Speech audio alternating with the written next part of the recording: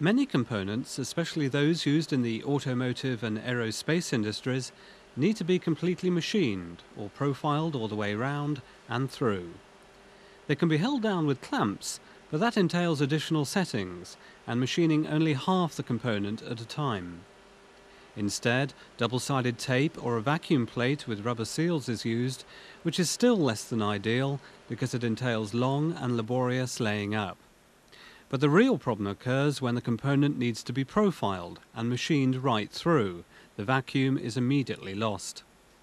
To overcome this, the somewhat dangerous breakout technique is used. To maintain vacuum, a thin section of material is left at the bottom of the cut, requiring the piece to be broken out, deburred and finished by hand. But now it's possible to eliminate all these problems and completely profile and finish such components in one easy step dispensing with clamps, rubber seals and double-sided tape and without resorting to breakout techniques. The vac mat is a plastic mat consisting of an array of suckers on the top side, each with a lipped edge and a small hole, 0.25 mm or 10 thou through the centre.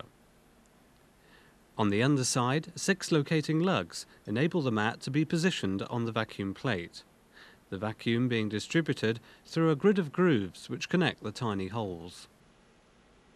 The mat is laid onto the vacuum table, ensuring the lugs locate into the holes. The vacuum is then applied, and the mat is pulled into position and secured by its lipped edge. The vacuum is now released to enable the component to be positioned. When the vacuum has been reapplied, the component is securely held and can only be moved by releasing the vacuum. Locating pins can also be used to position the component.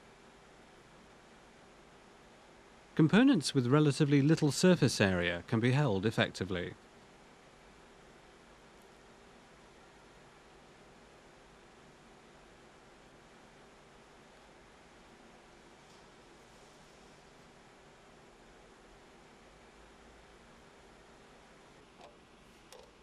Even badly warped components can be securely held flat for machining.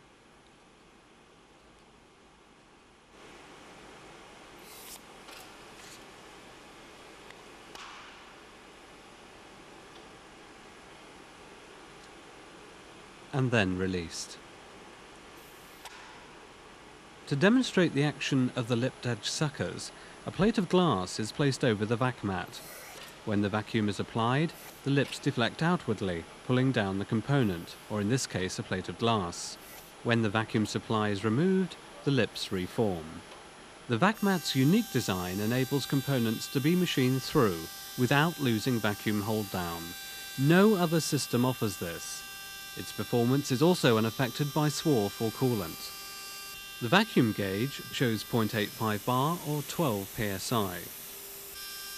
In the application demonstrated, the pump enables more than 50% of the vac mat to be open to atmosphere. The vacuum is always monitored and can be interlocked with the machine control, therefore being completely safe in use. The VacMat user manual gives all the information needed.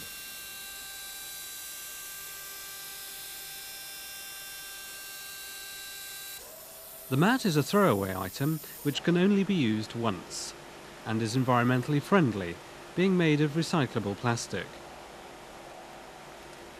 When it's been machined into and the skin has been broken, it must be replaced.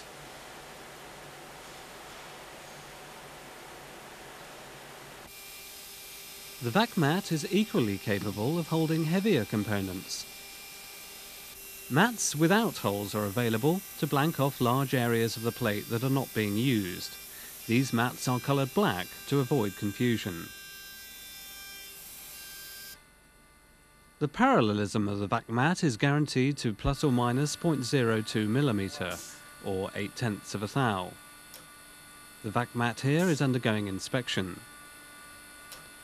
Mats of varying density are available to suit specific applications, which can be discussed with our engineers. Vacuum plates can be supplied in various modular configurations and are made under license in different countries around the world. Specially designed plates are also available. Aviation Tool, based in Hounslow, is a subcontractor to the aviation industry and produces a variety of components which are particularly suited to the VacMat work holding system. In this machining operation, an aileron wing section has its thickness reduced from 60 thou sheet to 25 thou, or from 1.5 mil to half a mil. By using the VacMat, significant cost savings have been achieved, not only in component layup time, but also by changing the method of metal removal. These components had previously been chemically machined, with all its associated environmental hazards and costs. The chemical etching proved to be very expensive, but by bringing the job in-house, the customer made a considerable cost saving. Other jobs were carried out on vac mats which soon proved to be very versatile. In the past they were changing vacuum plates with every job. Now they simply replace the vac mats. VacMat, winner of the 1994 Metalworking Production Award.